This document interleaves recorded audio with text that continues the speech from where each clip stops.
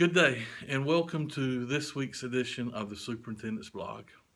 With school underway here in Johnston County on the enhancement calendar, I want to talk to teachers today about uh, salary increases. If you remember locally, our Board of Education and County Commissioners have afforded uh, teachers an additional 1% in their local supplement and that 1% equates to approximately $1.9 million in the budget. So we're very thankful for that, but we still had to cut $2.4 million from the budget in other areas to make that and other things happen as well. Uh, at the state level, in regards to teachers, uh, overall, there's a 4.7% increase. Now, depending on how much experience a teacher has, from zero years to 30 plus years experience, uh, that number will uh, increase or decrease. I think the lowest is like a 2.1% increase and the highest is like a 13 or 14% increase. But when you combine all those variables, it averages out to a 4.7% increase. And so we thank our members of the General Assembly and our governor for that.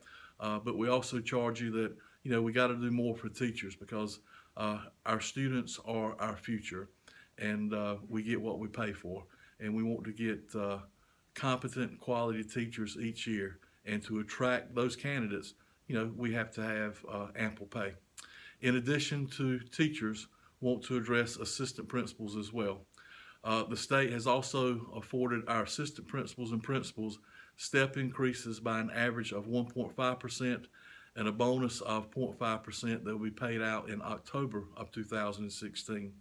And then I applaud our school board for seeing the need to increase assistant principal pay, and they have increased assistant principal supplements here in Johnston County Schools an additional 2% this year.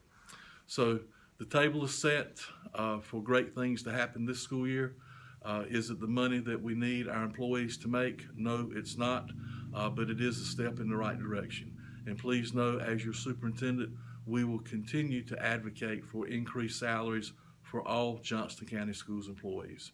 Uh, none of us is as important as all of us, and each role we play on the team is of equal importance.